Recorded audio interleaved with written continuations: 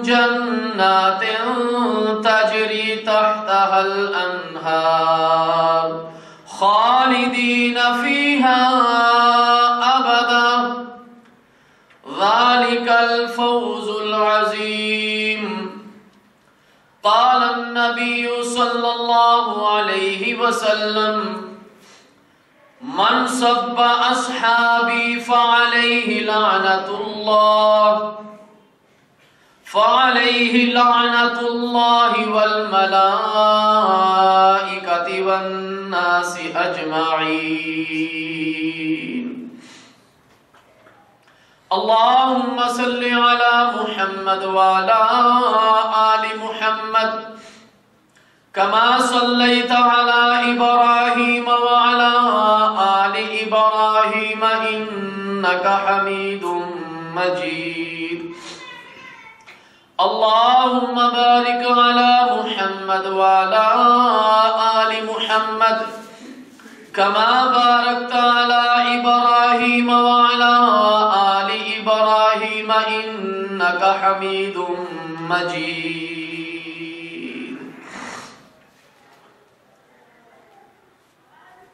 कह दो, गमे हुसैन मनाने वालों से,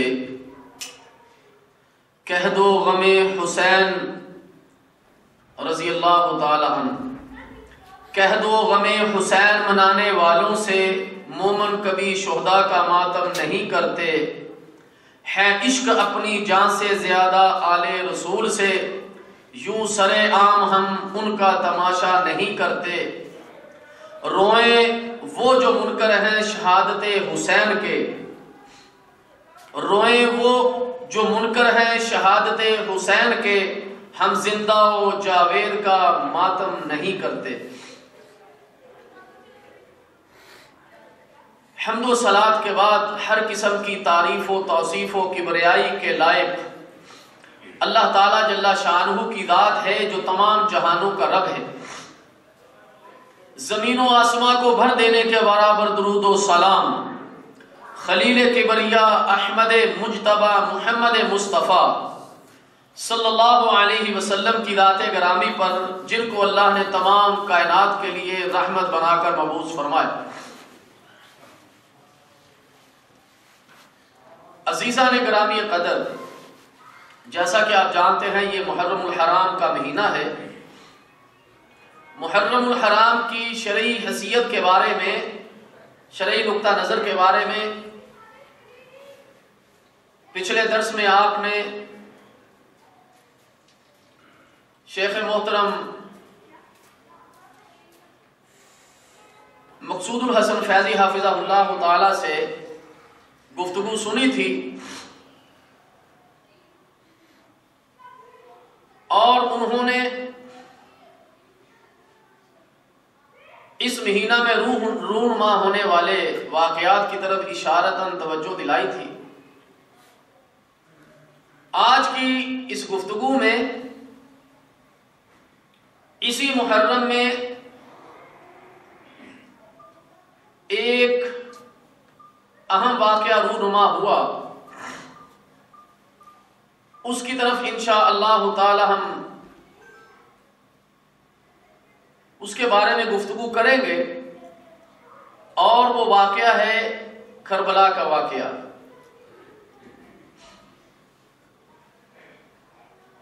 करबला के वाकया को मुख्तलिफ़ किताबों में मुख्तलिफ़ अंदाज से लिखा गया है। मुख्तलिफ़ बयान करने वाले मुख्तलिफ़ अंदाज में उसको बयान करते हैं। कुछ लोग ऐसे हैं कि जो हद से गुजर जाते हैं। कुछ लोग ऐसे हैं कि जो बिल्कुल ही गिर जाते हैं। और हक्का की ये पहचान है कि वो एतदाल में रहते हुए जो सही बात है, उसको अवाम नाज तक पहुंचाते हैं ताकि लोगों तक सही बात पहुँच सके और इस ज़मीन पर फितना, फसाद पैदा ना हो। लेकिन उसके बावजूद बहुत सारे लोग ऐसे हैं कि जो मुसलमानों में इंतशार चाहते हैं, मुसलमानों में फितना, फसाद चाहते हैं, और अवामुन्नास की नज़रें हक बात से हटाकर ऐसे किस्सों और कहानियों की तरफ़ लगाना चाहते हैं जिनका कोई सर पाँव नहीं है। इसलिए हमारी यह गुजारिश है अवामुन्नास से कि वो कुरान और सुन्नत को ही सुना करें और ऐसी बातें जिनका उलमा हक्का ने ऐसी बातें जिनकी निशानदेही उलमा हक्का ने की है, उन्हीं की तरफ़ रजू किया करें। और इधर उधर के जो किस्से कहानियाँ हैं तो मैं ये अर्ज़ कर रहा था कि अवामुन्नास को चाहिए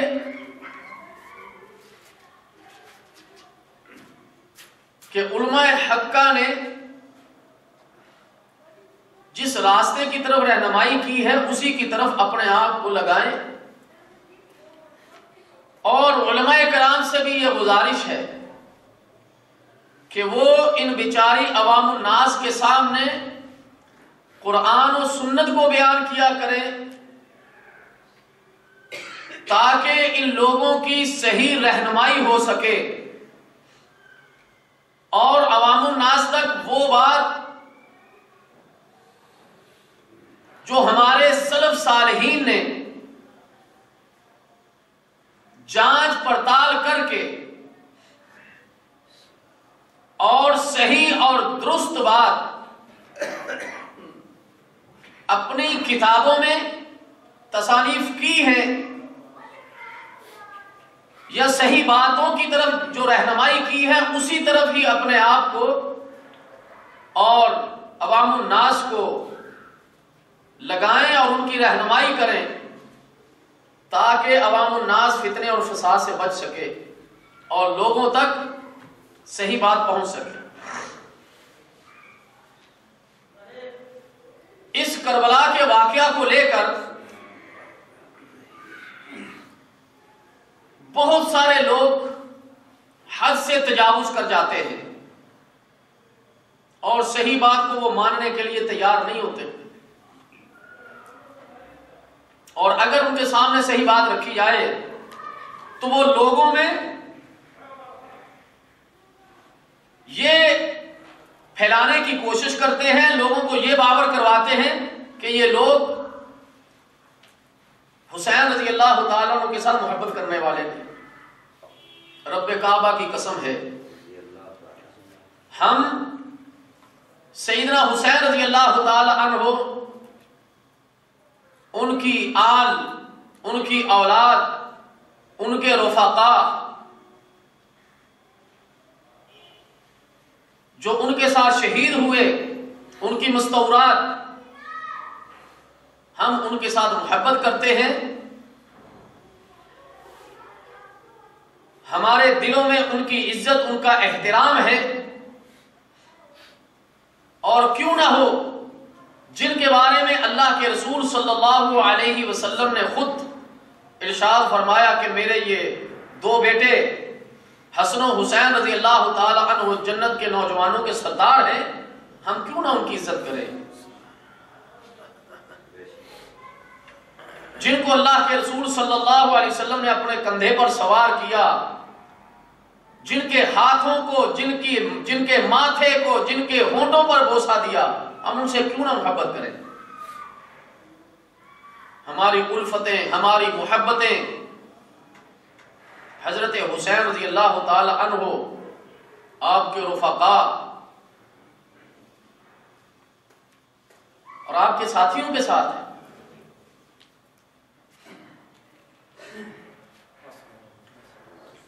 अल्लाह ताला जल्ला शाहू ने सहाबा इकराम रज़ी अल्लाह तजमाइन के ईमान के बारे में और उनके कुफर से दूर रहने के बारे में कुरान मजीद, फुरकान हमीद में इरशाद फरमाया वालमू अन्नफीकुम रसूल अल्लाह लौ युतीउकुम फ़ी कसीरिन मिनल अम्रि लअनितुम वलाकिन अल्लाह हब्बब अलैकुमुल ईमान व ज़य्यनहु फ़ी कुलूबिकुम। व कररहा इलैकुमुल कुफ्र वल फुसूक वल इस्यान। उलाशिदून फजलम मिनल्लाहि व निअमह। वल्लाहु अलीमुन हकीम। और जान रखो कि तुम्हारे दरमियान अल्लाह के रसूल हैं। अगर वो अक्सर कामों में तुम्हारा कहा माने तो तुम ईदा में पड़ जाओ, तकलीफ़ में पड़ जाओ, मुश्किल में पड़ जाओ। लेकिन अल्लाह ने तुम्हें ईमान की मोहब्बत दी। सहाबा को, कि अल्लाह ने तुम्हें ईमान की मोहब्बत दी है। वलाकिन ईमान। अल्लाह ने तुम्हें ईमान की। मोहब्बत दी है। तो सहाबा ईमान वाले। और फरमाया वजयनफी कुलूबिकुम। और उसे तुम्हारे दिलों में उतार दिया। सहाबा के दिलों में अल्लाह ने ईमान को उतार दिया। कौन निकाल सकता है उसको? अरे 1400 साल के बाद सहाबा को भौंकने वालों अल्लाह ने उनके दिलों में ईमान उतारा है। कौन निकाल सकता है? वकर रहा इलेकुमुल कुफर वल फसूक वल इसियान। और तुम्हारे सामने किनके सामने? सहाबा के सामने। कुफर को गुना को, नाफरमानी को नापसंद कर दिया। यानी सहाबा के सामने कुफर भी नापसंदीदा।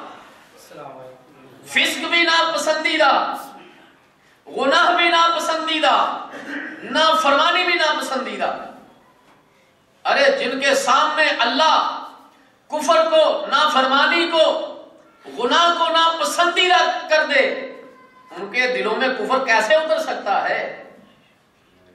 और रब्बे कायनात फरमाते हैं, उलाइका हुमुर राशिदून। यही लोग हिदायत पाने वाले हैं। कौन? मेरे नबी वसल्लम के सहाबा उनके साथी। फजलम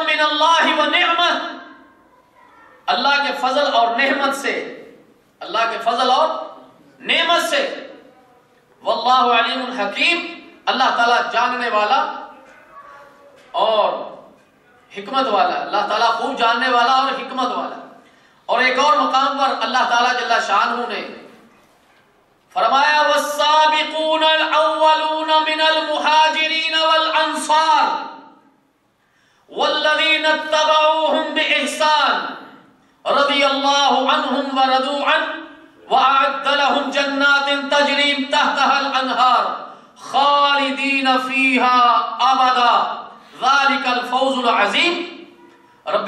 फरमाते जो मुहाजिरीन और अंसार साबिक और मुकद्दम और जितने लोग इखलास से उनके पैरों हैं,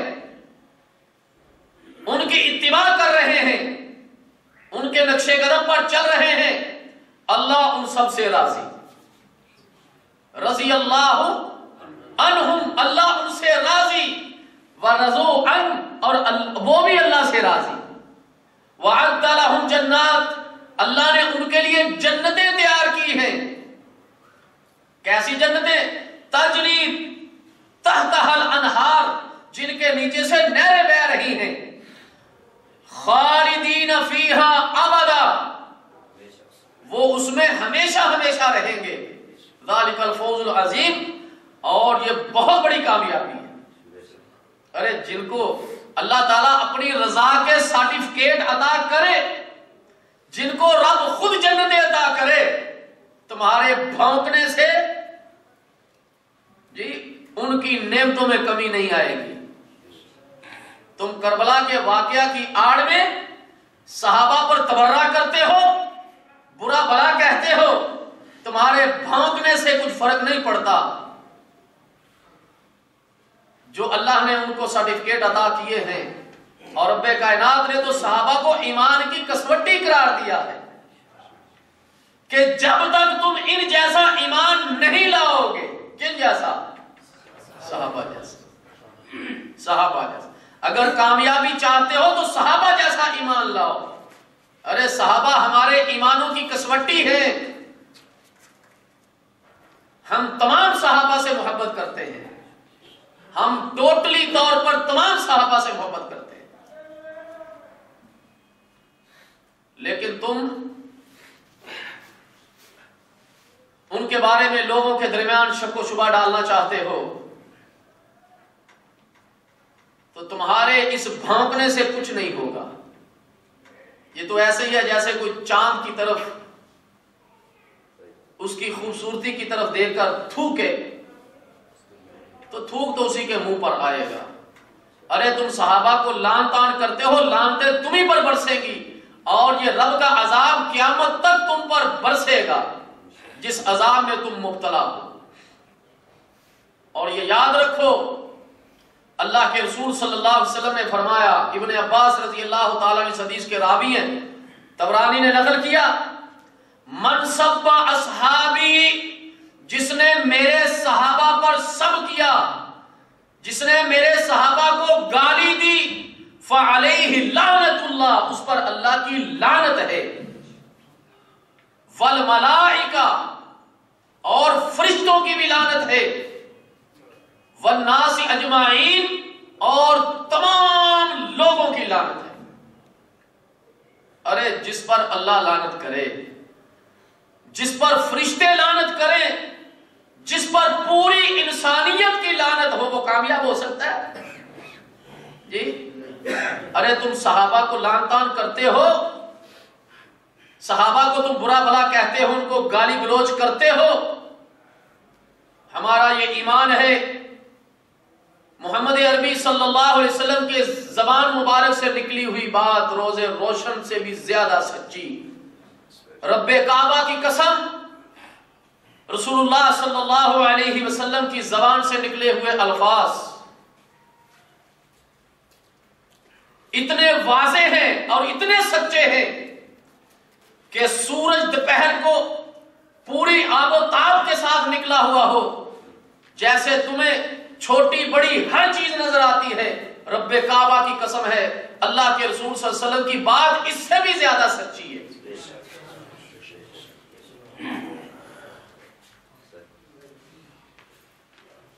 और हमारा यह भी ईमान है कि तुम पर लानत बरस रही है और क्यामत तक तुम पर लानत बरसती रहेगी।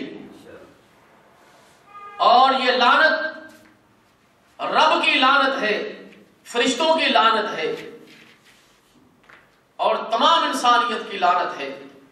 तुम कभी भी कामयाब नहीं हो सकते। और मेरे पाक पैगंबर, मोहम्मद अरबी सल्लल्लाहु अलैहि वसल्लम ने शाह फरमाया, ला तसुब्बु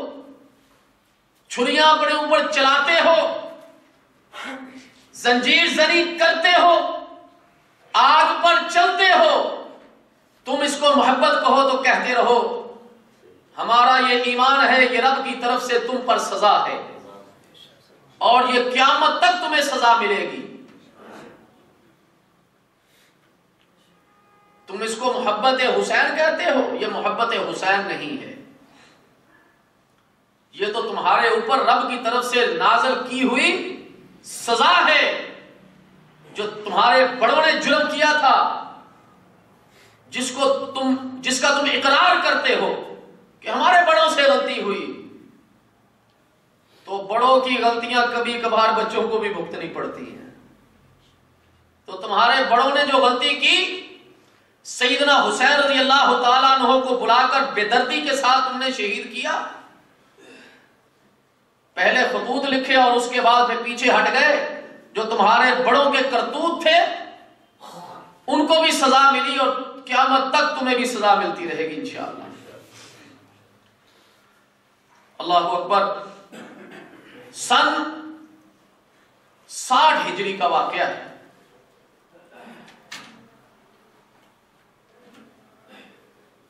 कि अमीर यजीद के हाथ पर बैत ली गई।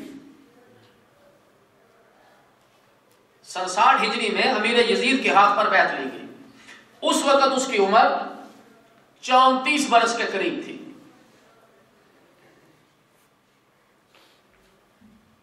उसकी खिलाफत के बारे में लोगों ने बैत करना शुरू की।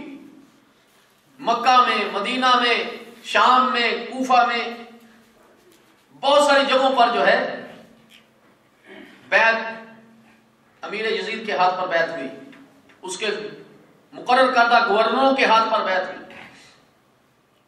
कुछ लोगों ने बैत से इनकार भी किया।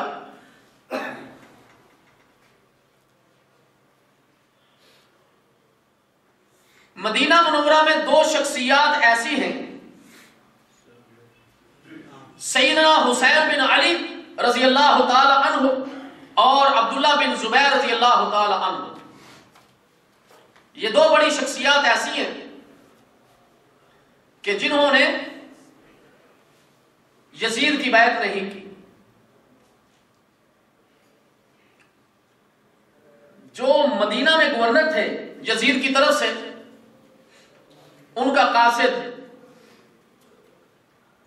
अब्दुल्ला बिन जुबैर रज़ी अल्लाह तु के पास आया और बैत के लिए कहा तो उन्होंने कहा कि मैं रात को सोच कर जो है, तुम्हें बतलाऊँगा। तो रात को वो मदीना से मक्का की तरफ़ पूछ कर गए।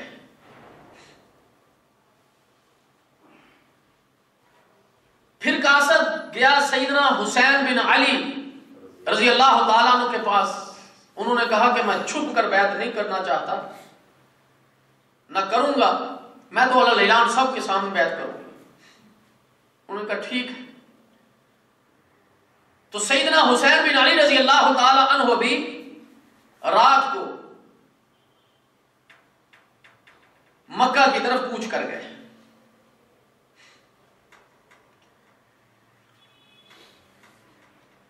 अब दोनों बड़े, बड़ी शख्सियात मक्का में पहुँच गए। अब इसकी खबर इराकियों को मिली, कूफा वालों को मिल गई। कि सैदना हुसैन रज़ी अल्लाह तहों ने और कुछ लोगों ने यजीद की बैत नहीं की। और ये कूफे वाले और इराक के कुछ लोग सईदना अमीर मुआविया रज़ी अल्लाह तहों को पसंद नहीं करते थे।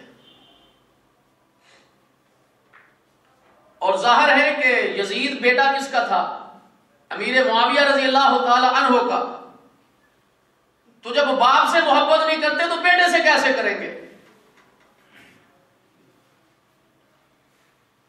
तो जब उन लोगों को खबर मिली तो उन्होंने सैदना हुसैन रज़ी अल्लाह तु को खतूत लिखे कि ए हुसैन इबन अली रज़ी अल्लाह हमारे दिलों में तुम्हारी मोहब्बत है, हमारी गर्दनों में तुम्हारी बैत है, हमारे दिलों में यजीद की भी मोहब्बत नहीं, उसकी बैत भी नहीं। लिहाजा आप हमारे पास तशरीफ़ लाइए। हम आपका साथ देने के लिए तैयार हैं। आपके हाथ पर बैद करने के लिए तैयार हैं। मुख्तलिफ़ अंदाज में उन्होंने खतूत लिखे। 500 से भी ज़्यादा तादाद बढ़ी और लिखने वालों ने तो हज़ारों में लिखा है। कोई बीस हज़ार, कोई पच्चीस हज़ार, कोई तीस हज़ार। खतूत आए सैकड़ों में, हज़ारों में खतूत पहुँचे उन कूफियों की तरफ़ से। और उसमें बैद का भी वादा लिया गया, साथ देने का भी वादा लिया, किया गया। इस मौके पर सईदना हुसैन रज़ी अल्लाह तहों ने सोच विचार की कि वे लोग मुझे चाह रहे हैं मुझसे मोहब्बत कर रहे हैं, मुझे बुला रहे हैं तो उनके पास चलना चाहिए। इससे पहले कि सैदना हुसैन रज़ी अल्लाह तु अपना सबर बांधते मुस्लिम बिन अकील रज़ी अल्लाह तु को हालात का जायजा लेने के लिए आपने रवाना किया कूफा। मुस्लिम बिन अकील रज़ी अल्लाह तु वहाँ पर पहुँचे उन लोगों को पता चला, उन्होंने इस्तेकबाल किया।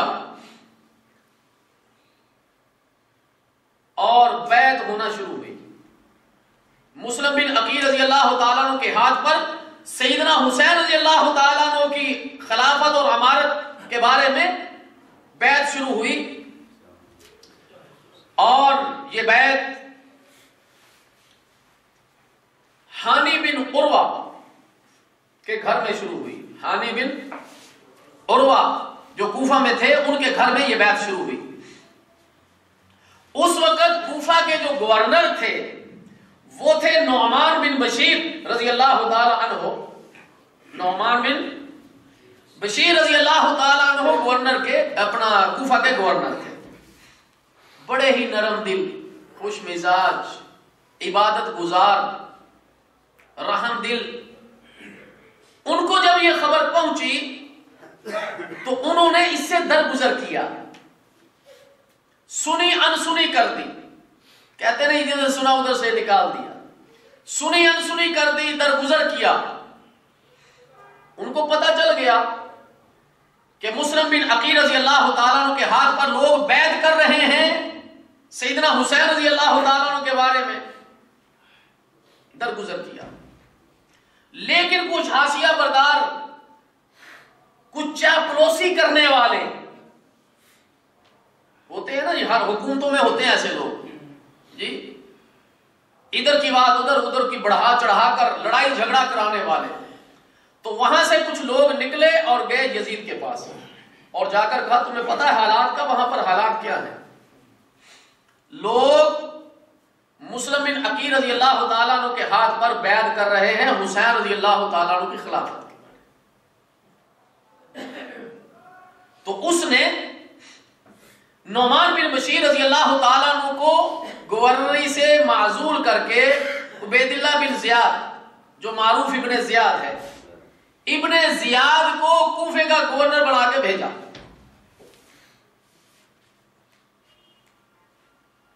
और कहा कि हुसैन रज़ी अल्लाह को कूफा आने से रोको। ये थे अल्फाज। क्या थे? कूफा आने से उनको रोको, बस। पूरी दुनिया की किताबें छान मारिए। पूरी दुनिया की तारीख को टटोल मारिए। सवाए शिया की कुतुब के किसी किताब से आप एक हरफ भी नहीं निकाल सकते।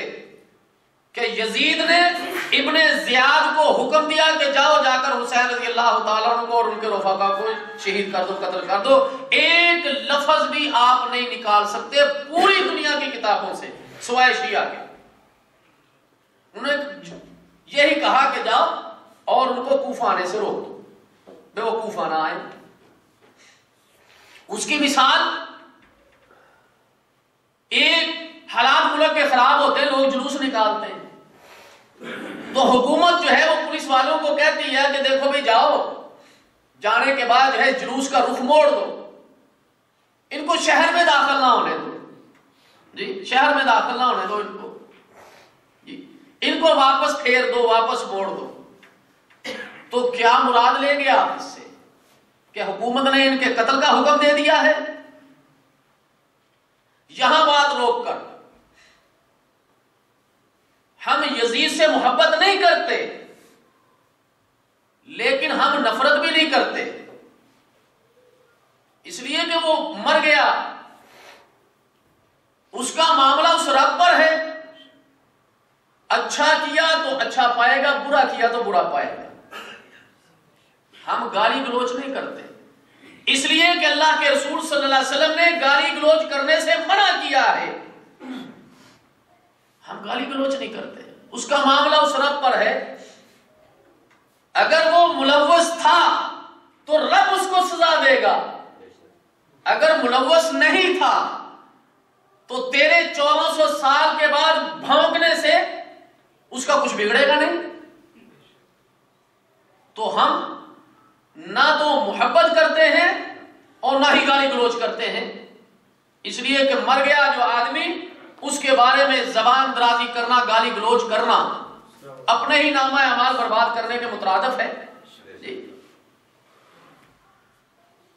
तो बहरहाल नौमान बिन बशीर रज़ी अल्लाह को माजूर करके इबन जियाद को गवर्नर बनाकर भेजा और कहा कि हुसैन रज़ी अल्लाह को कूफा आने से रोको। अब ये जब इबन जियाद दाखिल हुआ कूफा में तो चेहरे पर निकाब उड़े हुए था। अब लोग चूँकि इंतज़ार में थे किसके? हुसैन रज़ी अल्लाह तु के। अब वो यही समझे कि शायद हुसैन रज़ी अल्लाह तु तशरीफ़ ले आए। तो वो कहते वो अलैहिस्सलाम या इब्ने बिनते वसल्लम। वो सलाम करता ना? जी? लोगों को सलाम करता, सलाम सलाम इब्ने जियाद। तो लोग समझते कि हुसैन रज़ी अल्लाह तु तो लोग जवाब देते वालेकुम या इब्ने बिनते अलैहि वसल्लम। ए नबी सल्लल्लाहु की बेटी के बेटे, तुम्हें भी क्या हो? सलाम। इब्ने जियाद गया। गवर्नर हाउस में बैठा जाकर और लोगों को बुलाया, जो बड़े बड़े सरदार होते हैं ना जी बड़े बड़े सरदार बड़े बड़े लोग, उनको बुलाया। और जब उसने देखा कि लोग रास्ते में मुझे हुसैन समझ रहे हैं तो वो समझ गया कि हालात कुछ खराब हैं। जी, लोग तो इंतज़ार कर रहे हैं हुसैन रज़ी अल्लाह का। इस वक्त तक हज़ारों में लोग बैद कर चुके थे, हज़ारों में कूफी लोग बैद कर चुके थे, हज़ारों। हज़ारों की तादाद में बैद हो चुकी थी। कोई एक, दो, चार, पाँच, बीस, सौ का मामला नहीं था, हज़ारों का मामला था। उसने अपने एक गुलाम अकील उसका नाम है। इब्ने जियाद ने अकील को मुकर्र किया, जाओ जासूसी करके आओ, देखो हालात कैसे हैं। लोग क्या कर रहे हैं? अब उसने इधर उधर छान बांट शुरू की। लोगों को कहता फिरता था कि मैं हुसैन रज़ी अल्लाह के हाथ पर बैत करना चाहता हूँ, मैं उनके लिए तीन हज़ार दिनार लाया हूँ। इधर उधर करते करते करते अखीर हानि बिन औरवा के घर का उसको पता चला कि वहाँ पर मुस्लिम बिन अकीर रज़ी अल्लाह मौजूद है, जो बैत ले रहे वहाँ पर पहुँचा, जाकर बैत की तीन हज़ार दिनार दिए कि ये मैं हदिया लाया हूँ। कुछ दिन आता जाता रहा। कुछ दिन आता जाता रहा। जब हालात से आगाह हो गया तो जाकर इब्ने जियाद को पूरे का पूरा मामला बदला दिया। इब्ने जियाद ने बुलाया किसको? जी? मुस्लिम बिन अकील को नहीं। जी? हानि बिन उर्वा क्योंकि उनके घर में थे मुस्लिम बिन अकील रज़ी अल्लाह इससे पहले कि ये चीज़ शुरू होती, मुस्लिम बिन अकील रज़ी अल्लाह ने जब देखा कि हज़ारों लोग मेरे हाथ पर बैद कर चुके हैं तो उन्होंने कासर भेज दिया किसकी तरफ़? सईदना हुसैन रज़ी अल्लाह की तरफ़ के हालात साजगार हैं। इतने लोगों ने मेरे हाथ पर जो है वो बैद कर ली है। आप तशरीफ़ ले आए। आप तशरीफ़ ले आए। चुनाचे हज़रत हुसैन रज़ी अल्लाह हो आठ दिल हिज्जा को, जिस दिन लोग एहराम बाँध के मीना में जाते हैं, आठ तारीख उस दिन आपने कूच किया किस तरफ़? इराक की तरफ़, कूफा की तरफ़।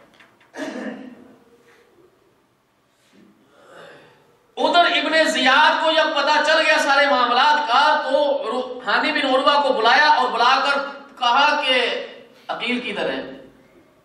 मुस्लिम बिन अकील रज़ी अल्लाह ताला है? उसने कहा, मुझे नहीं पता।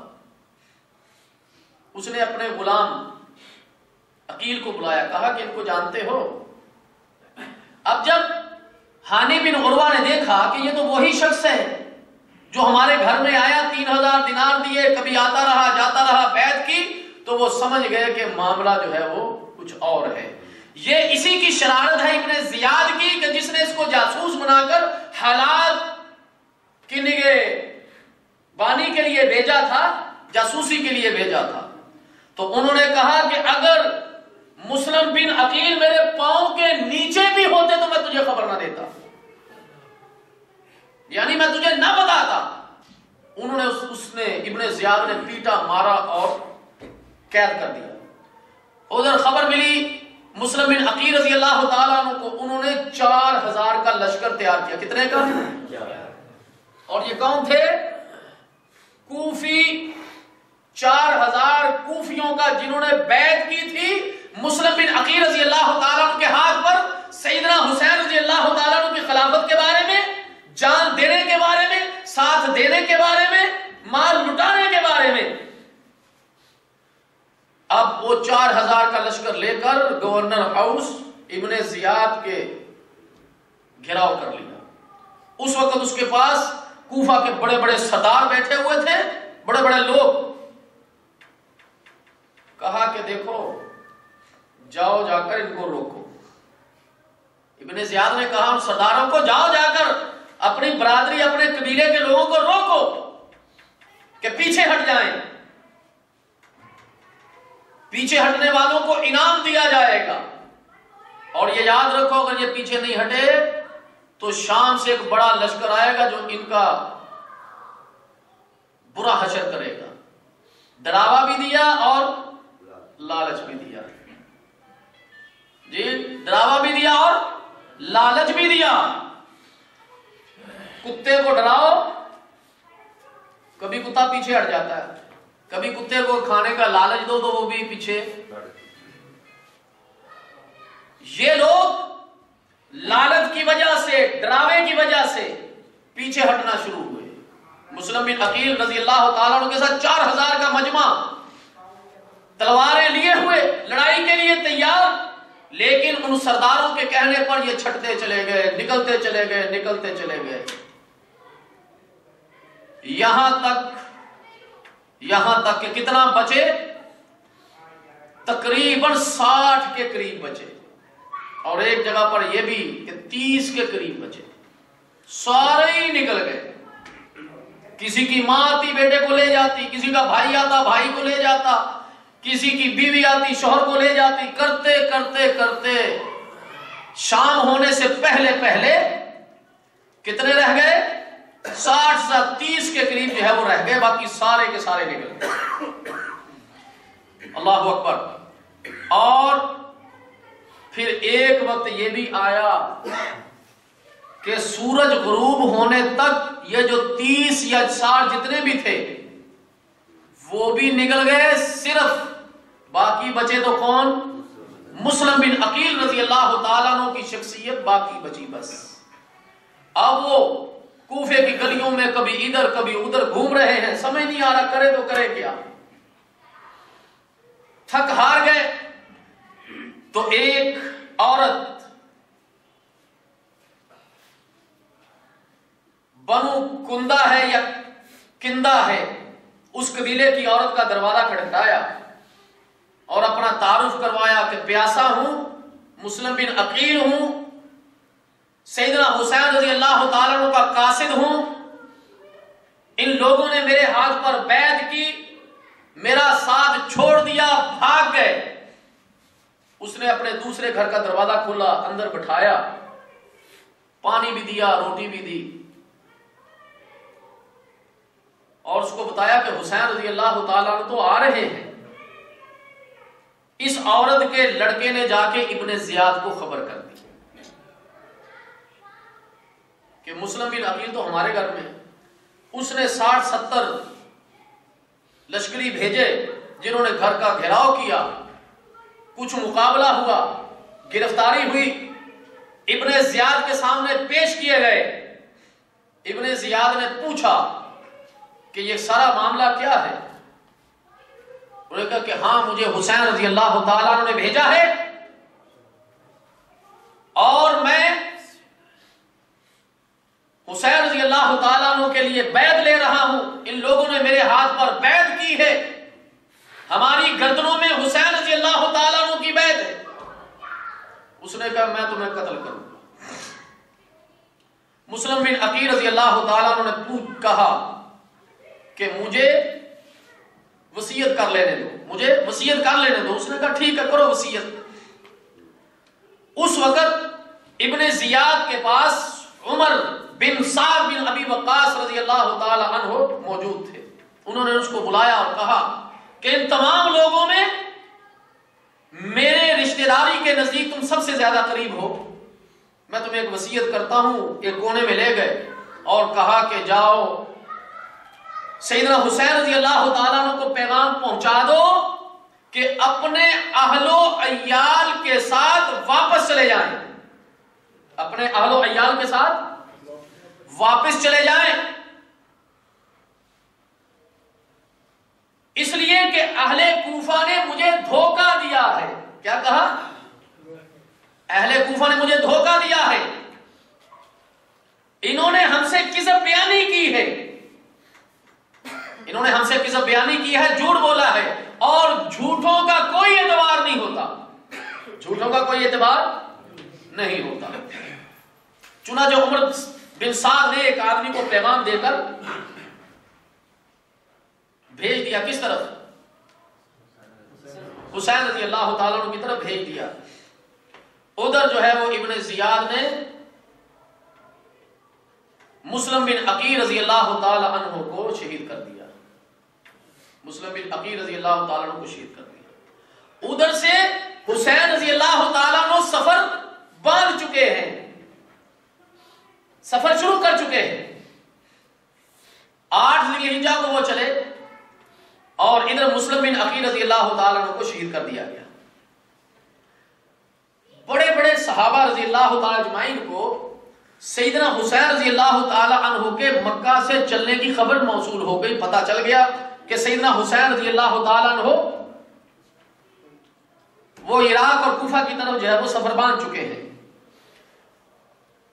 और कुछ बड़े बड़े चंद सहाबा ऐसे हैं जिन्होंने आपको कुछ नसीहतें की, कुछ मशवरे दिए। अब्दुल्ला बिन उमर फारूक रज़ी अल्लाह वो भी मक्का में थे। हज़रत अब्दुल्ला बिन अब्बास रज़ी अल्लाह जलील सारे सहाबा वो भी थे। सईदना अब्दुल्ला बिन अमर बिन आस रज़ी अल्लाह हज़रत अबू सईद खुदरी रज़ी अल्लाह अब्दुल्ला बिन जुबैर रज़ी अल्लाह बड़े बड़े साहबा हैं और आपके बरादर मोहम्मद बिन अली बिन अबी तालिब, मोहम्मद बिन अली अली रज़ी अल्लाह की दूसरी बीवी से बेटे। आपके भाई,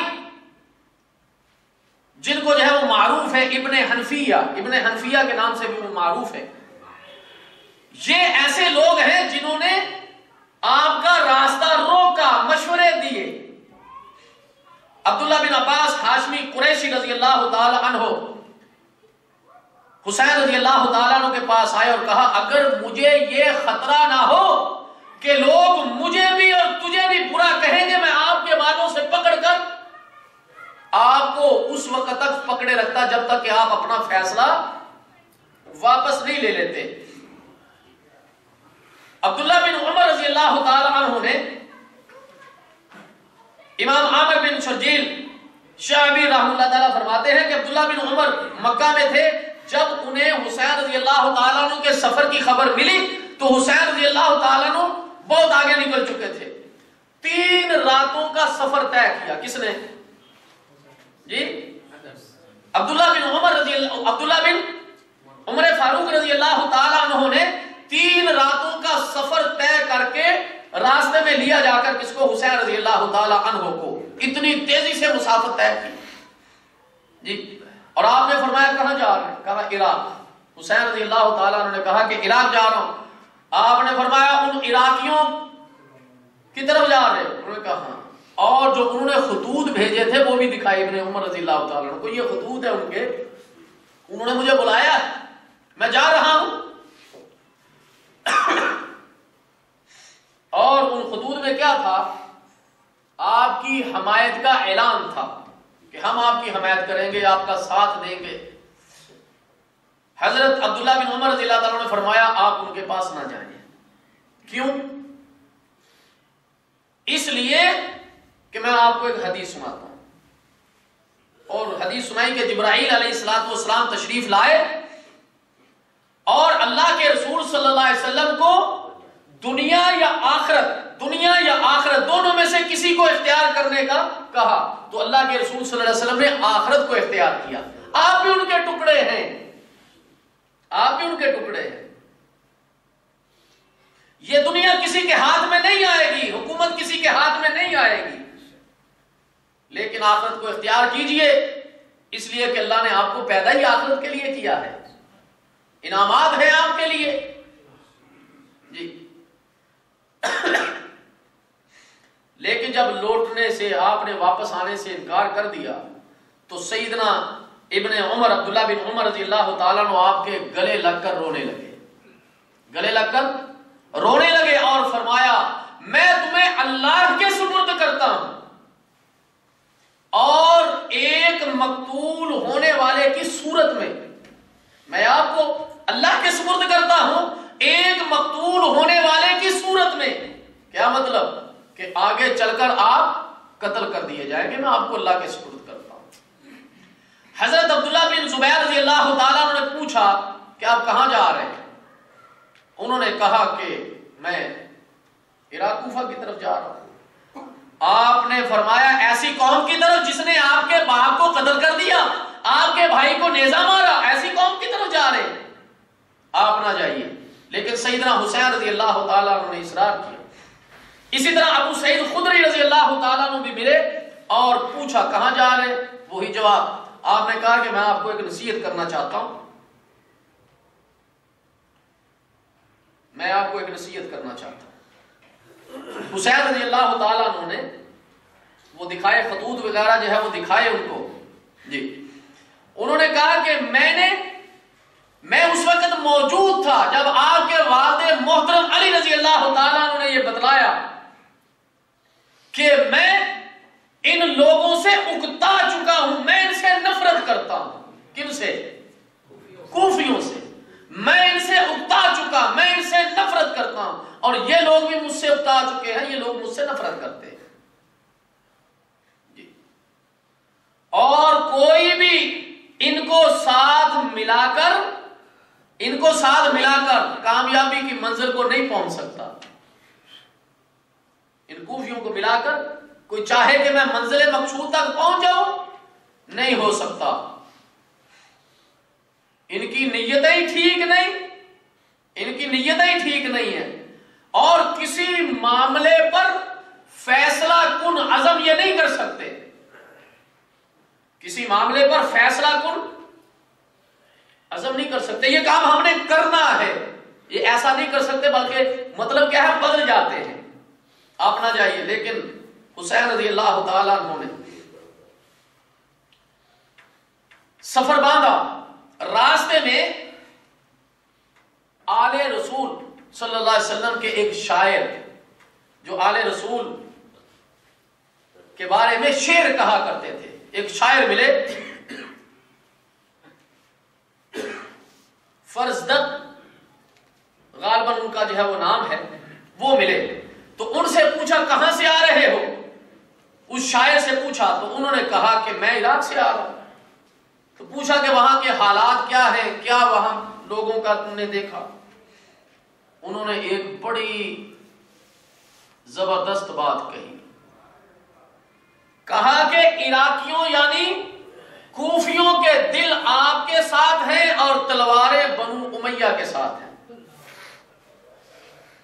दिल आपके साथ और तलवारें बनु उमैया के साथ हैं। जब यह सुना तो हुसैन रज़ी अल्लाह ने कहा, वल्लाह मुस्तान।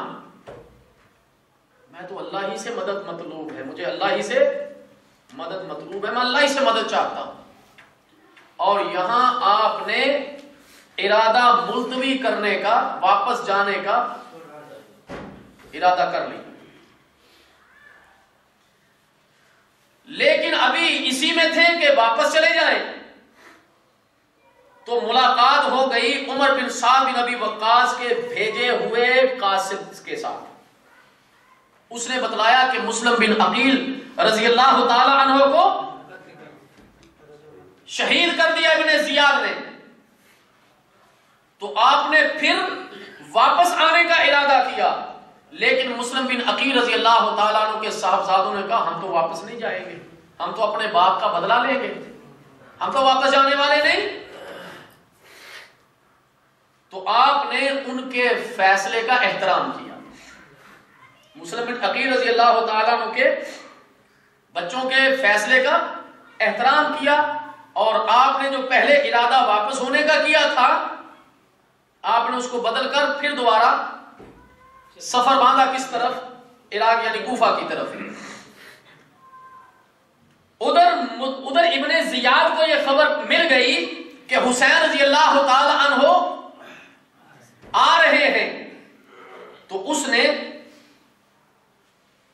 एक लश्कर भेजा, एक हज़ार आदमी का, एक हज़ार लोगों का और उसका सरबरा बनाया हुर बिन यजीद तमीमी को एक हज़ार लश्करी देकर भेजा और कहा कि मैं तुम्हें हुक्म देता हूँ कि हुसैन रज़ी अल्लाह तहों को वापस कर दो। यानी जिधर से आए हैं, उधर ही उनको लौटा दो। हुर बिन यजीद तमीमी उस लश्कर के साथ, हुसैन रज़ी अल्लाह के साथ आ मिला और आकर कहा कि आप वापस लौट जाइए। वापस चले जाइए। हुसैन रज़ी अल्लाह ने कहा, नहीं, मैंने तो आगे जाना है। चले, हुर दूसरी तरफ़ से आपके आगे आया और कहा कि वापस चले जाइए, आप फिर इधर से। जिधर से आप मुड़ते, वो आगे आ जाता और कहता कि वापस चले जाइए। लेकिन हुसैन रज़ी अल्लाह ने फरमाया कि नहीं, मैंने तो जाना ही है। उसने ये कहा कि अल्लाह ताला मुझे आपके मुतलक किसी आजमाइश में ना डाले, आप वापस चले जाइए। अल्लाह मुझे आपके बारे में किसी आजमाइश में ना डाले, आप वापस चले जाइए। एक जहाँ या फिर दूसरा यह है कि आप शाम यजीद के पास चले जाइए। आप शाम यजीद के पास चले जाइए। कूफे ना जाए। शाम यजीद के पास चले जाए या वापस लौट जाए कूफा में ना जाए आप। इसलिए कि कूफा के हालात। लेकिन सईदना हुसैन रज़ी अल्लाह ने उसका हुक्म मानने से इनकार किया कि नहीं, मैंने तो कूफा ही जाना है। और बड़े सख्त अल्फाज कहे, हुसैन रज़ी अल्लाह ने, मेरा रास्ता छोड़ दे, तेरी माँ तुझे गुम पाए। तेरी माँ तुझे गुम पाए, मेरा रास्ता छोड़ दे। उसने कहा क्या हुसैन रज़ी अल्लाह अगर कोई और कहता ना तो मैं बदला उससे लेता। लेकिन आप ऐसी औरत के साहबजादे हैं, जो जन्नत की औरतों की सरदार है। मैं कुछ नहीं कर सकता। मशुरा ही दे सकता हूँ। लिहाजा आप शाम चले जाइए या आप वापस चले जाइए, कूफे में ना जाए। इमाम हुसैन रज़ी अल्लाह आगे बढ़े और वो मकाम आया जिसको करबला कहते हैं। आपने पूछा कौन सी जगह है? बताया गया कि करबला। तो उन्होंने कहा कि करबुन व बला, यानी दुख और तकलीफ़ की जगह। दुख और तकलीफ़ की जगह। उधर इब्ने जियाद ने, इब्ने जियाद ने एक और लश्कर उमर बिन साहब बिन नबी वक्कास की क्यादत में चार हज़ार का लश्कर और भेज दिया। असल में भेजा था इनको रे की तरफ़। इलाका है। लेकिन पहले कहा कि उधर जाना, उसके बाद फिर। रे की इनको गवर्नरी दी थी। तो बहरहाल करबला का, करबला के मकाम पर जो है मुलाकात हुई, साद बिन अबी वकास रज़ी अल्लाह तु और हुर बिन यजीद तमीमी इनके साथ मुलाकात हुई।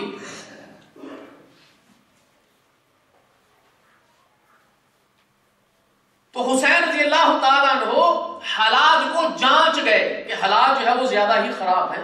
पहले हज़ार का लश्कर, फिर चार हज़ार का लश्कर। तो हालात खराब है। और हुसैन रज़ी अल्लाह तु को लड़ने थोड़ी गए थे? लड़ने थोड़ी गए थे? लड़ाई के लिए नहीं गए थे?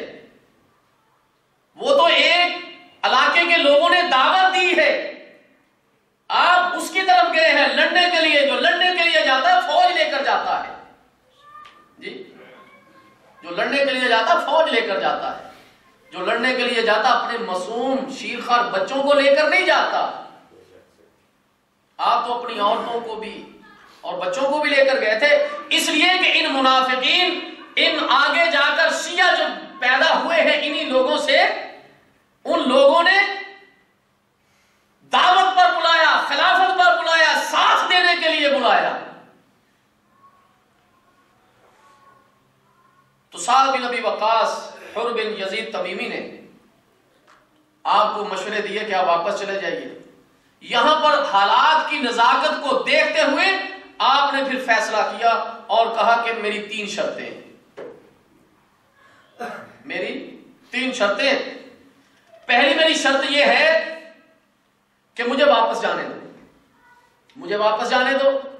दूसरी मेरी शर्त यह है कि मुझे मुसलमानों की सरहदों की तरफ़ निकल जाने दो।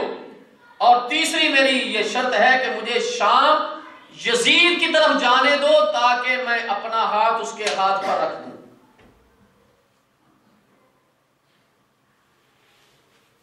उन्होंने कहा कि अच्छा आप इस तरह करें। आप यजीद की तरफ़ पैगाम भेजें।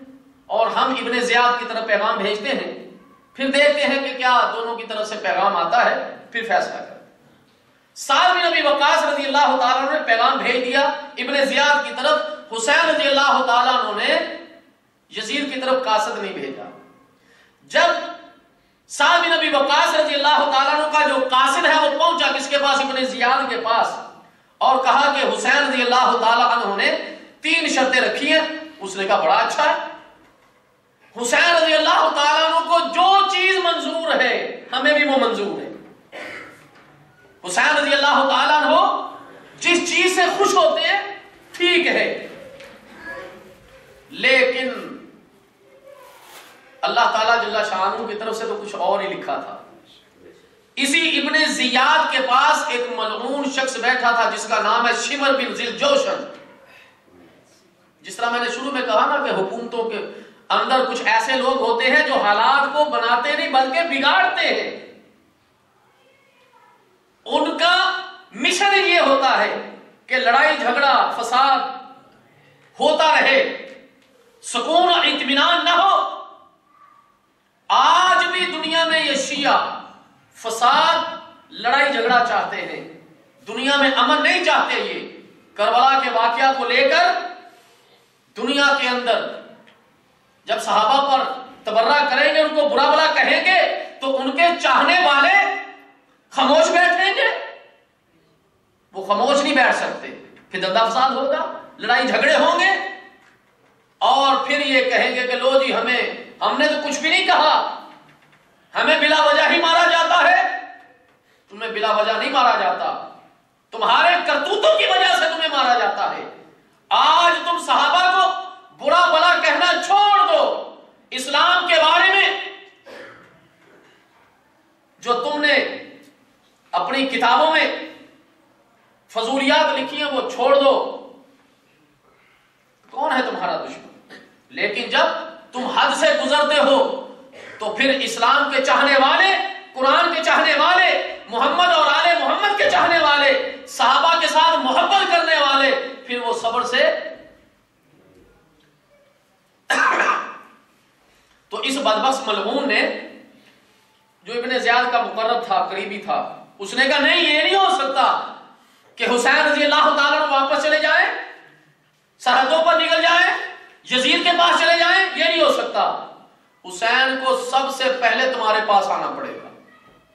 पहले उसको हमारे दरबार में आना पड़ेगा, गिरफ्तारी देना पड़ेगी। हम फैसला करेंगे उसके बारे में। वो कैसे फैसला अपने आप कर सकता है? अब जब इस तरह के अल्फाज लेपापोची करके कहे तो इब्ने जियाद जो पहले कह रहा था ठीक है, अब वो भी तब्दील हो गया। उसने कहा हाँ ठीक है। पहले उसको यहाँ पर आना चाहिए, हम फैसला करेंगे। तो उसने इसी मलून को, शिमर बिन दिलजोशर को कहा कि जाओ, जाकर देखो, अगर साबिन नबी वकास रज़ी अगर उनको गिरफ़्तार करके मेरे पास लाए और वो गिरफ्तारी दे दे तो ठीक है। लेकिन अगर वो गिरफ़्तार ना करें तो तुम उस लश्कर के सरदार हो, तुम पकड़ के ले आओ। अब ये पहुँचा, और साल बिन नबी वकास रज़ी अल्लाह हो तो ऐसे नहीं ना कि सैदना हुसैन रज़ी अल्लाह को तकलीफ़ दे। अब इस बदबख्त ने देखा कि वो गिरफ़्तार नहीं कर रहे, ना वो गिरफ्तारी दे रहे हैं तो इन्होंने, इसने बदबख्त ने जो है वो चढ़ाई शुरू की। अब सईदना हुसैन रज़ी अल्लाह ने जब देखा, उसने जाकर कहा कि गिरफ्तारी दीजिए। हुसैन रज़ी अल्लाह ने कहा कि मैं तो गिरफ्तारी नहीं देता। इब्ने जियाद के पास चले, वो फैसला करेगा, नहीं, मैं तो नहीं जाता। तो उसने कहा, ठीक है, फिर दो ही फैसले हैं, गिरफ्तारी दीजिए या फिर लड़ाई के लिए तैयार हो जाइए। नौ तारीख थी, जुमेरात का दिन था। जुमेरात का दिन था, नौ तारीख थी। आपने कहा कि नमाज़ पढ़े। आपने अपने साथियों को जोहर और असर की नमाज़ पढ़ाई। जो उधर से लश्करी थे, वो भी थे वहाँ पर। ज़ाहिर मुसलमान थे उस वक्त। बाकी जो तलवारें हैं, जिसके साथ उनकी हुई तो हुसैन रज़ी अल्लाह ने कहा कि तुम्हारा इमाम तुमसे, हमारा इमाम हमसे। उन्होंने कहा, नहीं नहीं। हम तमाम लोग आपके पीछे नमाज़ पढ़ेंगे। तो तमाम लश्करियों ने, उन कूफियों ने, जिन्होंने पहले बैत की हुई थी, जोहर और असर की नमाज़ पढ़ी, सैयदना हुसैन रज़ी अल्लाह के पीछे। मगरब का वक्त करीब था, आप अपनी तलवार के साथ टेक लगाए हुए थे। तो लश्कर आगे बढ़ने शुरू हुए। हुसैन रज़ी अल्लाह ने साथियों से पूछा, ये क्या है? साथियों ने कहा कि फौजें आगे बढ़ रही हैं। फरमाया पूछो क्या है? जब उनसे पूछा गया और पूछने के लिए एक जलील कदर सहाबी आगे गए, उनसे पूछा कि हाँ, क्या है? तो उन्होंने, उसने आगे से क्या जवाब दिया? हमारा बस एक ही फैसला है, गिरफ्तारी दें या लड़ाई के लिए तैयार हो जाए। सैदना हुसैन अल्लाह ने कहा कि मुझे रात के लिए मोहलत दो, मैं अपने रब के लिए नमाज़ पढ़ना चाहता हूँ। सारी रात आपने, आपके साथियों ने अपने रब से मनाजात, तौबा इस्तेफार की, अल्लाह के लिए नमाज़ पढ़ी। सुबह होते ही दस तारीख को उन लोगों ने सईदना हुसैन रज़ी अल्लाह और आपके रोफाका पर हमला कर दिया।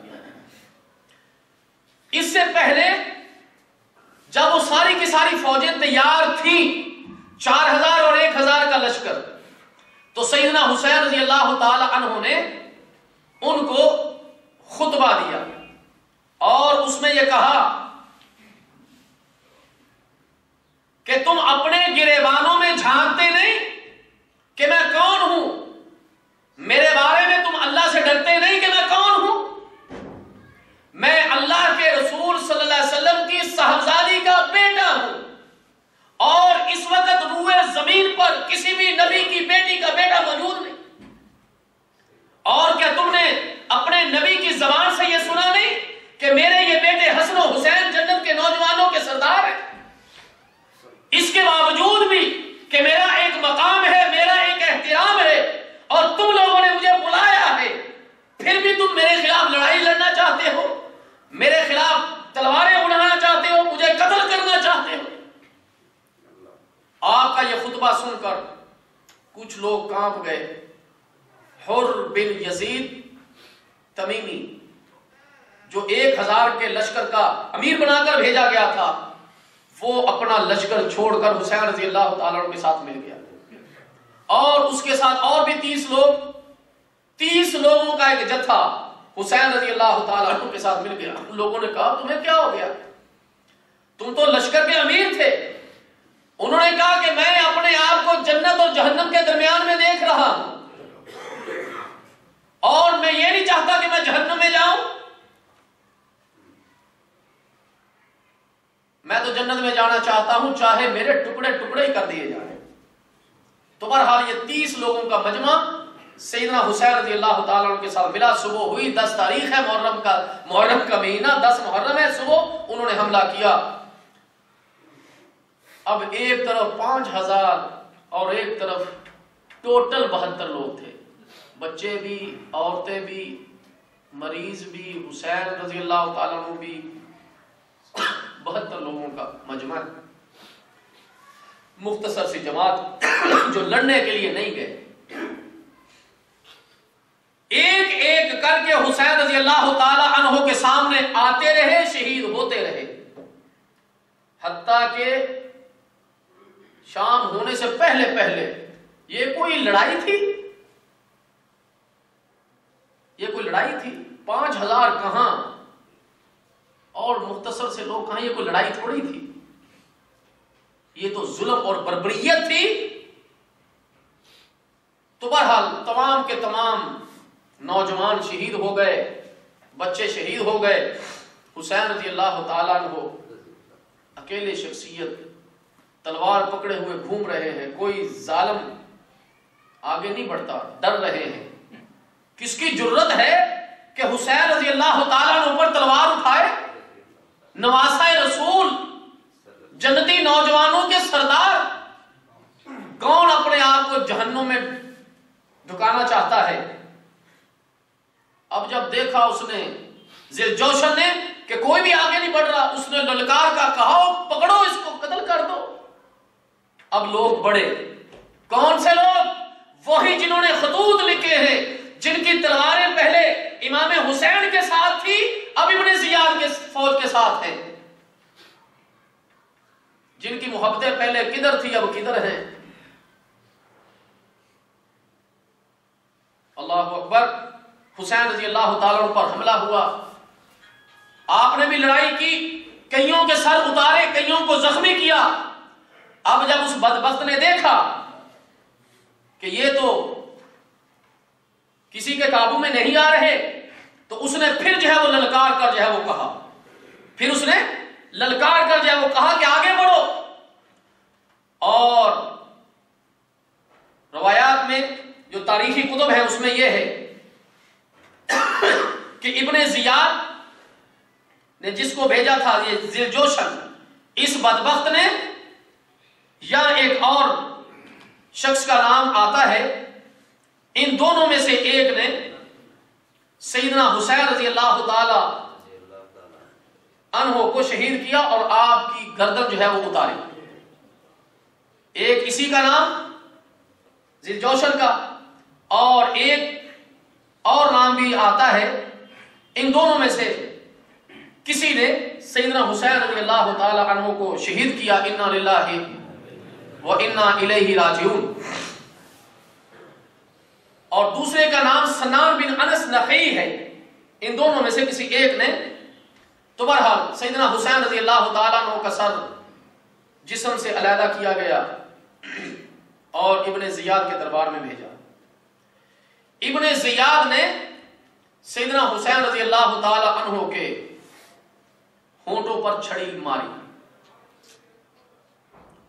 वहाँ पर अनस बिन मालिक रज़ी अल्लाह तला बैठे हुए थे, गुस्से से खड़े हो गए।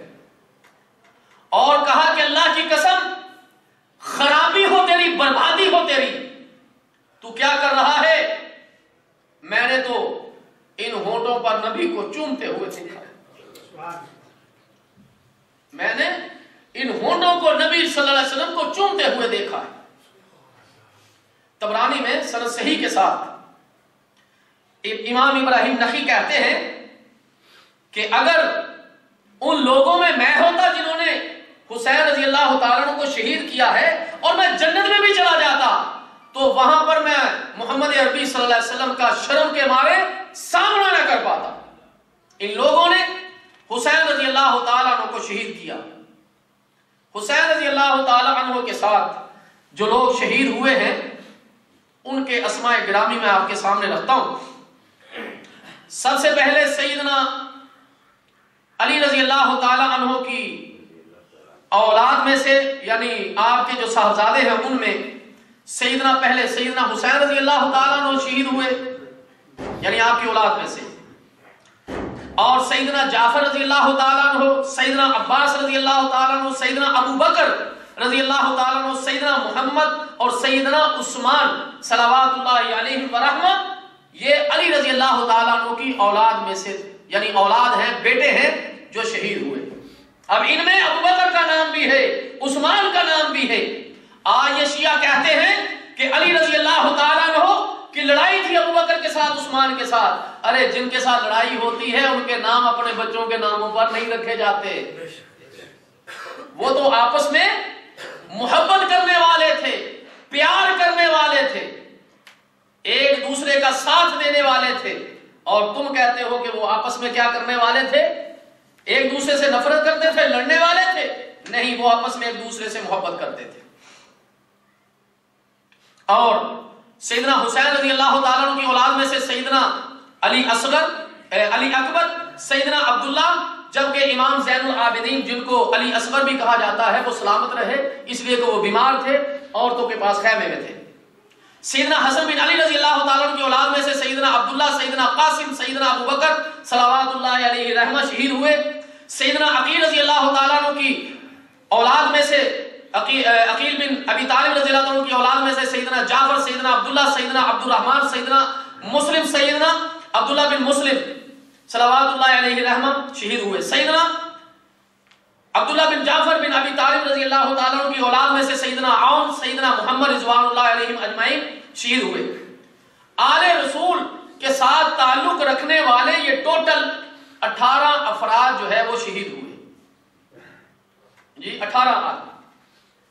आप शहीद होने वालों में अबू बकर का नाम भी सुनेंगे, उस्मान का नाम भी सुनेंगे, लेकिन आज तक किसी शिया की कुतुब में और उनकी तकरीरों में यह नाम आप नहीं पाएँगे। सिर्फ़ दुश्मनी की वजह से वो इनका नाम नहीं लेते, लेकिन ये वो लोग हैं जिन्होंने सैदना हुसैन रज़ी अल्लाह के सामने जाम शहादत नोश किया है। लेकिन अदावत और दुश्मनी की वजह से ये शिया इन हजरात के नाम नहीं लेते। और उसके बाद ये इनकी खयानत है अल्लाह ताला जल्ला शाह ने भी फिर बदला लिया। इन्हीं में से एक आदमी पैदा हुआ। इन्हीं लोगों में वो आदमी था जिसने बैद की थी मुस्लिम बिन अकील रज़ी अल्लाह तु के हाथ पर, हुसैन रज़ी अल्लाह तु के लिए।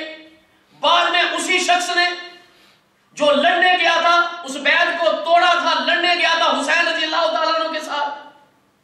उसी शख्स के हाथों से फिर इब्ने जियाद का सरकलम हुआ। जी जोश जोशन का सरकलम हुआ, इन बदबख्तों के सरों को उतारा गया, मस्जिद में रखा गया। लोग देख रहे करे, आ गया आ गया। देखा तो एक सांप आया। और वो सांप जो सर कटे पड़े थे, उनके दरमियान से होता हुआ गया और इब्ने जियाद के मुँह में घुसा जाकर। जिस तरह उसने हुसैन रज़ी अल्लाह के होंठों पर छड़ी मारी थी, मुँह में दाखिल की थी, सांप उसी तरह दाखिल हुआ, निकला। फिर दोबारा लोगों ने कहा, वो आ गया, वो आ गया, फिर एक सांप आया और उसने आकर उसी तरह किया। अल्लाह ने सजा दी इन लोगों को। बदला लिया अपने प्यारे नबी सल्लल्लाहु अलैहि वसल्लम के नवासे का। और उसके बाद इनमें से फिर एक आदमी, फिर जब ये कत्ल हो गए ना तो उनका नाम पता क्या पड़ा उस जमात का, जिन्होंने इनको कत्ल किया? तवाबीन क्या नाम पड़ा? तो वो अभी तोबा करने वाले। ये सियासी शिया थे। ये क्या थे? ये थे सियासी शिया। तवाबीन तोबा करने वाले। आज भी इन शियों के बड़ों से पूछो, इनकी किताबों में दर्ज है। सवाल किया जाता, पीटते क्यों हो? गिरेबान को चाक क्यों करते हो? कहते हो जी, हमारे बड़ों ने जो जुर्म किया था ना, हम उसे तौबा करते वो थे सियासी शिया। उसके बाद फिर आगे से ये असली शिया फिर शुरू हुए। और उसके बाद ये जो कहा जाता है कि सईदना हुसैन रज़ी अल्लाह तु की सर मुबारक यजीद के दरबार में गया, ये बिल्कुल गलत है। सलफ की किसी किताब से आप ये नहीं पाएँगे कि यजीद के पास उसके दरबार में सईदना हुसैन रज़ी अल्लाह का सर भेजा गया या आपकी औरतों को कैदी बनाकर भेजा गया? सवाए शिया की, कुतुब के शिया की तकरीरों से और किसी जगह भी आप ये अल्फाज नहीं पाएँगे। बल्कि जब यजीद को इसकी खबर मिली कि सैदना हुसैन रज़ी अल्लाह को शहीद कर दिया गया तो उसके घर से आहो बका की आवाज़ें आई, रोने की आवाज़ें आई। उसने आपकी मस्तूरात को बुलाया, इनामो इकराम दिया, एहतराम किया, इज़्ज़त के साथ, एहतराम के साथ उनको मक्का रवाना किया। और रवायात में यह भी आता है कि अपने घराने की औरतों को साथ भेजा कि मक्के तक इनके साथ जाओ। और जिस तरह मैंने ये कहा कि हम ना तो हुसैन ना तो यजीद के साथ मोहब्बत करते हैं और ना ही उसको गाली गलौज करते हैं। उसका मामला रब पर छोड़ते हैं। लेकिन इतनी बात है, यजीद की मैं सैड नहीं ले रहा। मैं सिर्फ़ हक की बात कर रहा हूँ कि यजीद पूरी दुनिया की किताबें मैं अहले सुन्ना को कह रहा हूँ। और खासकर ब्रेलवियों को मैं कहता हूँ। इसलिए कि ब्रेलवियत के बड़े भी बगैर सोचे, समझे, लिखते हैं और बोलते हैं।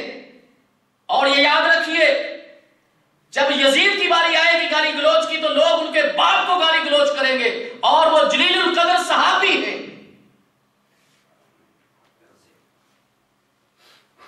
एक रवायत में है अल्लाह के रसूल ने फरमाया, जो मुआविया को गाली देता है कियामत के रोज उसके गले में आग का तौप होगा। और शिया भी, और कुछ बरेलवी भी अमीर मुआविया रज़ी अल्लाह को गाली देते हैं। और आज इन्होंने पीटना शुरू कर दिया, रोना शुरू कर दिया।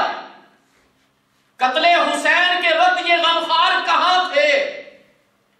कतले हुसैन के वक्त ये गमखार कहाँ थे? ये मातमी जुलूसों के फनकार कहाँ थे? सर जब चढ़ा हुसैन का नेजे के, नेजों के शोर पे, ये नाम के सैयद, ये अज्जादार कहाँ थे? क्यों अब के साथ लाए हो तुम हाथों में हथियार? क्यों अब के साथ लाए हो तुम हाथों में हथियार?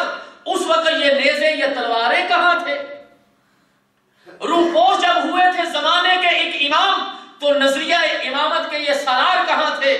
मुनकर यजीदियों ने दिया खुल के जब फरेब। मजलिस में रोने वाले ये अदाकार कहाँ थे? आज तुम रोते हो, आज तुम चीखते हो, और सहाबा को तुम बुरा भला कहते हो। आज अगर इस करबला के वाकया से यजीद का नाम निकाल दिया जाए, इनका पूरे का पूरा ड्रामा, पूरी की पूरी फ़िल्म फलाप होकर रह जाएगी।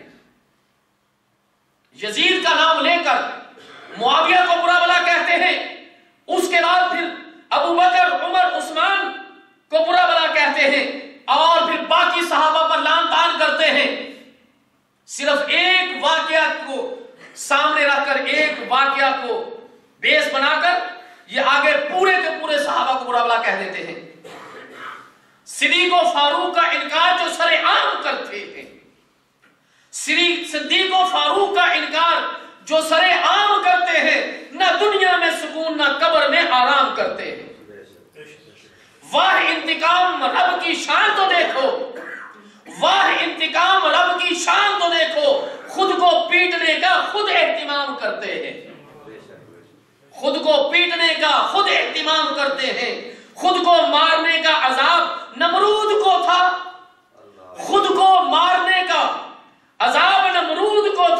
मुहिबीन सहाबा सुन्नत नमरूद का इल्तिजाम करते हैं। और हम ये बात सरेआम करते हैं। हम ये बात सरेआम करते हैं कि जो सदीको फारूक को गाली देता है, वो ना ज़मीन पर सुकून से रह सकता है, ना कब्र में सुकून के साथ रह सकता है। और रब ने ये सजा इनकी किस्मत में लिखी है। अरे चोर का हाथ काटो बस खत्म मामला। किसी ने कत्ल किया गर्दन उतारो मामला खत्म। ये नहीं कि हर साल उसकी गर्दन उतारी जाती है। जी चोरी करने का हाथ करने वाले का हाथ एक मरतबा काटा जाता है। ये तो नहीं कि हर साल ही बुलाओ है इसका हाथ काटो। जी लेकिन इनका इतना बड़ा जुर्म है कि हर साल रब इनको सजा देता हर साल। हर साल सजा देता है तैयारी करो अगले साल फिर मैदान में आना जी अगले साल फिर मैदान में आना है। और अल्लाह हिदायत दे मुसलमानों को कि जो इनके शाना बिशाना चलते हैं, इन्होंने रब्बे काबा की कसम है, ये काफर हैं और ये ऐसे लोग हैं जिन्होंने मुसलमानियत का लिबादा ओढ़कर, मुसलमानियत का लिबादा ओढ़कर मुसलमानों को नुकसान पहुँचा रहे हैं। यहूदो निसारा इतना इस्लाम को नुकसान नहीं पहुँचा रहे जितना ये शिया पहुँचा रहे हैं। इसलिए वो तो काफर है, वो अपने आप को मुसलमान नहीं कहते। लेकिन ये काफर है, लेकिन अपने आप को मुसलमान कह के मुसलमानों की सफों में घुसकर मुसलमानों को नुकसान पहुँचा रहे हैं और बरेलवी लोग इनका साथ दे रहे हैं। अरे, दस मुहर्रम का रोजा रखना सुन्नत है। मेरे नबी की प्यारी सुन्नत है। आपने हुक्म दिया है कि दस तारीख का रोजा रखो और ये दस तारीख को सबीले लगाते हैं, बरेलवी इनका साथ देते हैं। नबी के हुक्म का इनकार करने वाला, वो नबी का आशक नहीं, नबी का दुश्मन है। नबी ने रोजा रखने का हुक्म ये सबीले लगाते हैं, हलवे माने पकाते हैं, लोगों को खिलाते हैं। ये नबी के दुश्मन ये नबी के दुश्मन है, नबी के साथी नहीं, नबी के मुहब नहीं, नबी के आशक नहीं, नबी के साथ दुश्मनी करने वाले हैं, चाहे वो बरेलवी हो, चाहे वो कोई भी हो। नबी का आशक, नबी का मुहिब वो है, नबी से मोहब्बत वो करता है, जो नबी की जबान से निकले, वो उस पर अमल करे। और अल्हम्दुलिल्लाह, हम नबी से मोहब्बत करने वाले हैं। अल्लाह के रसूल वसल्लम फरमाया, जो 10 तारीख का रोजा रखता है, मैं अल्लाह से उम्मीद करता हूँ, अगले एक साल के उसके गुनाह माफ़ हो जाते हैं। अगर मैं अगले साल ज़िंदा रहा तो यहूदियों की मुखालफत में एक रोजा और भी रखूँगा। हम अल्हम्दुलिल्लाह दो रोज़े रखते हैं। लेकिन ये हलवे मांडे पकाते हैं। अरे, तुम्हें खुशी किस बात की चढ़ी हुई है? किस बात की खुशी खुशी तुम्हें चढ़ी हुई है? हलवे मांडे? जी, खीरे पकाना ये तो खुशी के मौके पर लोग करते हैं। जी, जो तुम जो है वो अल्लाह अकबर। आखिर में एक बात अबू बकर वो है जो ज़िंदगी इस्लाम के नाम करे। अबू बकर वो है जो ज़िंदगी इस्लाम के नाम करे। उमर वो है जो ज़मीन पर अदलो इंसाफ करे।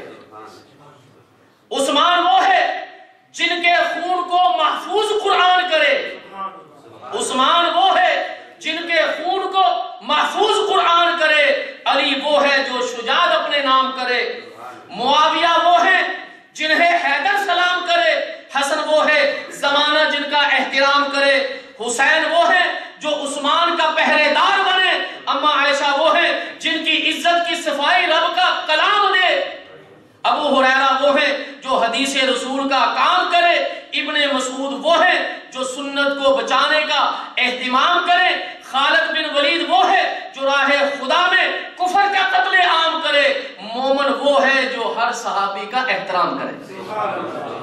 मोमन वो है जो हर सहाबी का एहतराम करे और अल्हम्दुलिल्लाह, हम टोटल जितने भी सहाबा हैं, जिन्होंने अपनी ज़िंदगी में एक बार मेरे मोहम्मद को देखा है सल्लल्लाहु अलैहि वसल्लम, हम उसका एहतराम करते हैं। हम उसका एहतराम करते हैं, लेकिन आज अगर कोई उन सहाबा को बुरा भला कहे तो हम फिर ऐलान करते हैं कि इनका इस्लाम के साथ कोई ताल्लुक नहीं है, दुनिया के किसी कोने में हो रब्बे काबा की कसम है, अगर आप अखबार में रहते हैं अखबार सुनते हैं, शाम के शियों ने सुनियों के साथ जो कुछ किया है रब काबा की कसम है, तारीख उसको दोहराएगी और तारीख तारीख ने उसको महफूज कर लिया है। किस तरह मासूम, शीरखार बच्चों को बच्चों को इन्होंने कत्ल किया। दो लाख से जायद मुसलमानों का कत्लेआम किया है शियों ने। और ये बदबक जो है, शाम का जो सरबराह है, क्या नाम है उसका? जी, असद। ये असद नहीं है, ये जहन्नम के कुत्तों में से कुत्ता है। ये जहन्नमी कुत्तों में से कुत्ता है, जिसको ये शामी सजदा करते हैं। ला इलाहा इल्लल्लाह, असद रसूलुल्लाह का कलमा पढ़ते हैं। उसकी तस्वीर को भी सजदा करते हैं। दुनिया का बदतरीन काफर, इसना अशरी, दुनिया का बदतरीन काफर असदी, जिन्होंने मुसलमानों की औरतों पर सुनियों की औरतों पर जुल्म सितम के पहाड़ तोड़ दिए हैं। और दुनिया में अपने आप को मजलूम के तौर पर ये पेश करते हैं, ये मजलूम नहीं है, ये जालिम है, ये जालिम है, ये जालिम है। और जुल्म का बदला इंशाल्लाह इनको मिलेगा। अल्लाह ताला जल्ला शाह से दुआ कि अल्लाह हमें आले रसूल के साथ मोहब्बत करने की तौफीक ता फरमाए। हमें हुसैन रज़ी अल्लाह तहों की सीरत अपनाने की तौफीक ता फरमाए। हुसैन रज़ी अल्लाह तहों के साथ सच्ची ईदत, सच्ची मोहब्बत नसीब फरमाए। उनके मिशन पर चलने की तौफीक ता फरमाए। अल्लाह ताला इन शीयों को गारत करे, इनकी कब्रों में आग भरे, इनकी और आपने बड़े बड़े शीयों के जाकरों को देखा होगा। किसी एक जाकर की शक्ल पर किसी एक जाकर की शक्ल पर भी आप सुकून, इत्मीनान नहीं पाएँगे। लानत बरस रही होगी। लानत बरस रही होगी। लानत बरस रही होगी। और इनके अकायद के बारे में मैंने आपको पहले भी आगाह किया था और मैंने कहा था, एक सौ इनके कुफिया मसाइल आपके सामने रखूँगा। तकरीबन तीस से पैंतीस तक मैंने रखे थे। बाकी इंशाल्लाह अगले जुमे भी इन शिया के गंदे मसाइल आपके सामने रखेंगे। अल्लाह ताला जल्ला शाम से दुआ कुरान सुनत के मुताबिक चलने की तौफीक ता फरमाए। रब कायना मेरे और आपके दिल की तमाम नेक हाजात को अपने फजल करम से कबूल मंजूर